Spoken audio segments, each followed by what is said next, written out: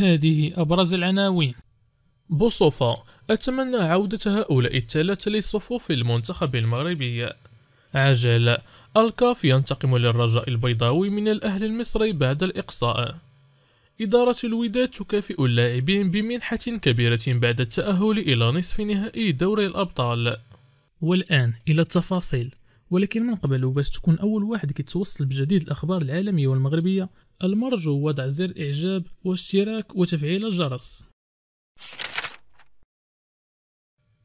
بالصفة أتمنى عودة هؤلاء الثلاثة لصفوف المنتخب. ذكر الدولي المغربي السابق مبارك بوصوفة في تصريح لموقع السكر 212 أنه يتمنى عودة كل من حكيم زياش وأمين حارث وعادل تعرابت لصفوف المنتخب الوطني.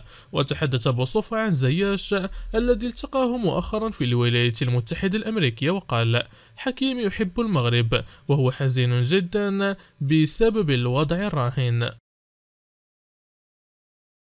عاجل. الكاف ينتقم للرجاء البيضاوي من الأهل المصري بعد الإقصاء. أقدمت لجنة الحكام التابعة للاتحاد الإفريقي لكرة القدم على إنزال عقوبة شديدة بالحكم الدولي الجزائري مهدي عبيد شارف بسبب تبعات المواجهة التي جمعت الرجاء الرياضي بالأهل المصرية ضمن ذهاب ربع نهائي دوري أبطال إفريقيا الذي ودع النصر الخضر بهزيمة في مجموع المباراتين بثلاثة لاثنين. وكشفت التقارير الصحفية أن لجنة الحكام المذكورة قررت تغيير الطاقم التحكيمي الذي أدار لقاء أهلي طرابلس أمام الاتحاد الليبي أمس الأحد في إياب الدور ربع النهائي لكأس الكونفدرالية والذي انتهى بتأهل أهل طرابلس بنتيجة هدف دون رد. وقررت اللجنة ذاتها الاستعانة بالدولي المغربي نور الدين الجعفري وتكليف الجزائري الحلو بن إبراهيم بمهمة الإشراف على تقنية الفيديو بدلا من مواطنها الدولي مهدي عبيد. وكان الاتحاد الإفريقي قد أخطر رجاء بأنه سيفتح تحقيقا في الظلم التحكيمي الذي شهدته المباراة المذكورة وخاصة ضربة الجزاء الفضيحة التي تنقلت وسائل الإعلام الدولية وأسأت بشكل كبير لصورة الكرة في القارة السمراء. وكان مسؤول نادي الرجاء قد بعثوا برسالة احتجاج قوية للاتحادين الإفريقي والدولي لكرة القدم ضد طاقم حكام مباراة الذهاب أمام الأهلية الذي قاده الكونغولي جان جاك ندالا وعاونه في تقنية الفيديو الجزائري مهدي عبيد شارف بسبب الأخطاء التحكيمية الجسيمة التي ارتكبت في حقه وتسببت في هزيمته أمام الأهلي بملعب السلام. وطالب الرجاء في خطابته المذكورة بتدخل رئيس الفيفا لمراجعة أوضاع التحكيم في الكاف وفرض عقوبة قاسية على الحكم نضالا الذي احتسب ضربة جزاء خيالية. وأن الهدف الثاني للأهلية غير صحيح بداعي أن مسجله كان في وضعية تسلل وتغاضي عن توجيه الإنذار الثاني ومن ثم البطاقة الحمراء للمالي أليو ديانغ وأصر رجاء من خلال الخطابات ذاتها المدمجة بشرائط مصورة على ضرورة إنزال عقوبة قاسية بمساعد الحكم الأول الذي اعتدى على اللاعب محمد زريدة. إدارة الوداد تكافئ اللاعبين بمنحة كبيرة بعد التأهل إلى نصف نهائي دوري الأبطال. ضمن لاعب الوداد الرياضي منحة مالية كبيرة بعد نجاحهم في التأهل إلى نصف نهائي دوري أبطال إفريقيا. وسيحصل لاعب الوداد الرياضي على منحة مالية قدرها 6 ملايين سنتيم لكل لاعب نظير نجاحهم في بلوغ المربع الذهبي لدوري الأبطال. ومعلوم أن الوداد الرياضي سيلتقي في نصف نهائي دوري الأبطال مع بيترو أتلتيكا الأنغولي نجم المنتخب المغربي يثير إعجاب الجميع بصورة رائعة لإحياء ليلة القدر.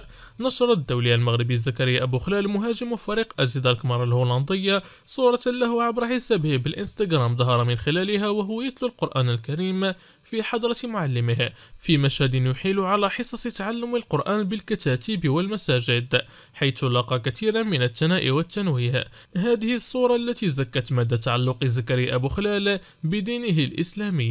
وتشبثه الدائم به. أعجب بها مجموعة من المتتبعين بسبب سلوكه المستقيم وكذا عدم تأثير الشهرة والمال على شخصيته. وقام الدولة المغربية بإرفاق الصورة المذكورة برسالة جميلة جدا حول فضل ليلة القدر. وقال بحول الله تعالى نحن الآن في الأيام العشر الأخيرة من شهر رمضان وفيها ليلة خير من ألف شهر. وتابع لا تفوت هذه الفرصة الذهبية التي لا تكون إلا مرة مرة واحدة فقط كل سنة ومن يدري هل يمكن أن نعيشها مرة أخرى.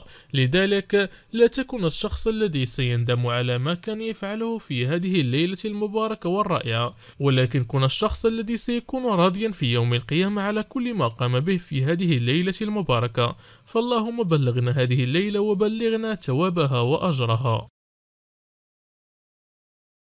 مدرب المنتخب الجزائري يلتقي بشكل مباشر مع الحكم قاسما ويقول له أنت حكار. بعد مرور أزيد من عشرون يوما على إقصاء المنتخب الجزائري أمام المنتخب الكاميروني من الدور الفاصل المؤهل لمنافسات كأس العالم قطر 2022 خرج مدرب المنتخب جمال بلماضي يحمل المسؤولية الكاملة للحكم الغامبي بكاري قسما ويروي ما قاله له في أول لقاء جمعهما بعد المباراة. وقال بلماضي في مقابلة مصورة له مع القناة الإلكترونية للجامعة الجزائرية لكرة القدم عندما صادفت الحكم قاسما في صلاة المطار انزعجت عندما شاهدته يرتشف قهوة وحلوى كريم من نوع ميلفي وهو جالس مرتاح البال قلت له بأنك لم تكن نزيها وكررت له ذلك في إسطنبول عندما التقيته مرة أخرى هناك أثناء الرحلة. وشدد مدرب المنتخب الجزائري على أن الجزائريين لن يتركوا حقوقهم وسيدافعون عنها مضيفا قسم كان رجل مباراة الجزائر والكاميرون بقراراته الخاطئة. إنه حكار وأكثر من ذلك. واعتبر بالماضي في حديثه أن التحكيم كارثي في إفريقيا ونددت بهذا الأمر في عدة مناسبات سابقة. عندما يتعلق الأمر بالمباريات الحاسمة فالتحكيم في إفريقيا يصبح عبارة عن سوق. باكيتا تلقينا التصرفيقة والوداد عندها جمهور خيالي. انتقد البرازيلي ماركوس باكيتا مدرب فريق شباب الوزداد الجزائرية الطاقم التحكيمي المصري الذي أدار مباراتها أمام الوداد الرياضية والتي عرفت تأهل الفريق الأحمر إلى دور نصف نهائي لدور أبطال إفريقيا. وكشف باكيتا أن مترجمه تعرض للكمة قوية على مستوى وجهه من طرف مدرب حراس فريق الوداد حسب قوله مشيرا أن هذه التصرفات مرفوضة ولا تليق أبدا بقيمة الفريقين العريقين. كما لم يفوت البرازيلي باكيتا الفرصة ليثني على جمهور الوداد الرياضية الذي لعب دورا مهما في تأهل فريقه للمربع الذهبي على الرغم من السيطرة الواضحة لفريق بلوزداد على حد تعبيره دائما. هذه أبرز العناوين. بوصوفا أتمنى عودة هؤلاء الثلاثة لصفوف المنتخب المغربي. عجل الكاف ينتقم للرجاء البيضاوي من الأهل المصري بعد الإقصاء. إدارة الوداد تكافئ اللاعبين بمنحة كبيرة بعد التأهل إلى نصف نهائي دوري الأبطال.